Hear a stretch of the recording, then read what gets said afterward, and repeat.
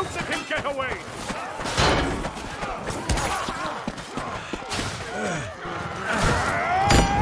Imbeciles! Thorn has managed to escape!